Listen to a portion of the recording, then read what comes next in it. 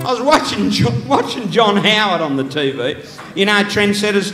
Even when he says something good, he still sounds like a whinging, whining little fuck, doesn't he? Even. Even if it's a good thing, you're still thinking to yourself, look at him, he's going, oh, I'm gonna do this, I'm gonna do that, oh, I'm gonna do this.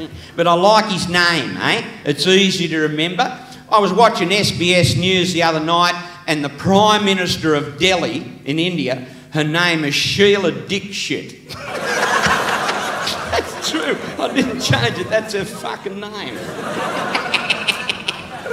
What about the bloke who used to be Prime Minister of Israel? How'd you like to have a bloke running Australia by the name of uh, Mr. Netanyahu? no fuck name. Wonder what had happened if he adopted Yahoo Serious.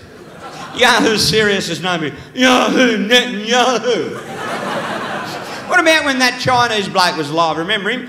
Deng Xiaoping? His name sounded like a fucking ricochet.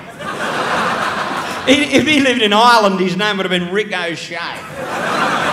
huh? How'd you be? You got a mate named Deng Xiaoping. You go, oh, Dung, meet me mate Jack. Oh, fuck off, Dung, your name sounds like shit.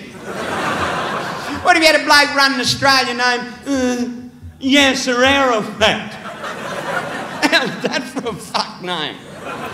Bet he hates it when he's getting ready for bed, takes the tea towel off his head and there's dishes under it. fuck him too. I was reading a thing in Time magazine the other day about Pol Pot. Well, there's a fuck name for you. And it said that Pol Pot, it said when he was alive, and a lot of people think his death was fabricated, but anyway, for all intensive purposes of the joke, he's fucking dead. And it said, I'm starting to sound like David Helfgott, eh, mate? Oh, yeah, I'm a mad cunt. Oh, you're right, you're fuck. You're right, you're gibson with your ass, yeah. Oh, fuck, fuck, fuck. I'm going to sound like that prick. No, no.